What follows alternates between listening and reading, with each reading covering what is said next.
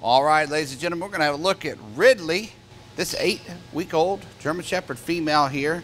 Got some floppy ears, so judge her lightly. She's very cute look, going to have a beautiful frame. Living in a puppy raiser home, per all our puppy raiser dogs here. Really happy with her home development so far.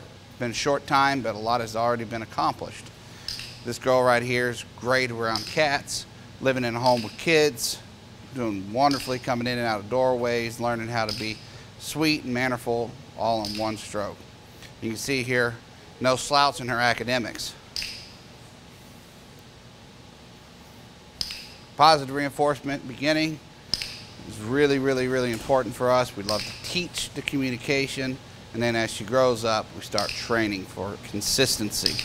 But being able to build a very sweet, positive rapport, nurture her confidence, bring out the absolute best in her breeding through patience and communication skills, that's where it's going to really lead us into a wonderful future with her.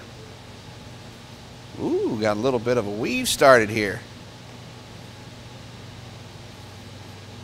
You guys are seeing the foundations laid right here at eight weeks of age. When you check back in on this girl in six months, this right here is going to be the video where it all started. So, eight week old Ridley, for your consideration. Hope you enjoyed this video. Certainly keep your eyes out on our YouTube channel for more stuff. Hit that subscribe button. And if you enjoyed this video, give Ridley a like.